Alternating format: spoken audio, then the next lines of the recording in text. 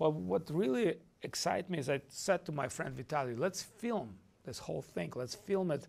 What is Burning Man? What is going on in different camps? Let's film as much as we can. Let's try to highlight a spiritual moments, the moments that we're here for.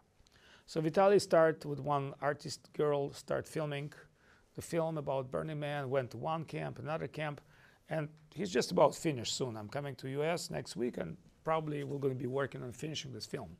But it was very interesting. What we discovered at Burning Man is kirtans. Besides crazy music and dance, in pretty much all day time in different camps, you hear some conscious spiritual talks and kirtans. And we're not talking right now about quality of kirtans, the, the quality of spiritual talks, because, you know, they're, they're, they're different kirtan, they're different spiritual talk. But what I was really amazed by is this alternative culture of kirtan, which is known in India for thousands and thousands of years, but been re revoked by Chaitanya Mahaprabhu in Bengal and later taken all over the India, is going on at the Burning Man. And I was very impressed that people getting together, they're chanting together, they're singing together, they're praying together. And to me, that was like the best discovery.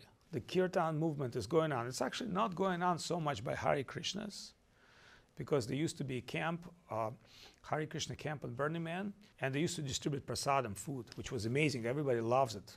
Actually, the first Ratha Yatra uh, with the chariot going all over the Burning Man, been done by Hare Krishna guys at Burning Man. But the guy who built Burning Man camp and did it for many, many years died in accident. And after him, nobody could pull it food distribution in desert. He was like an expert. He had many volunteers. He's a great leader, and he unfortunately passed away unexpectedly, and that that camp is still vacant.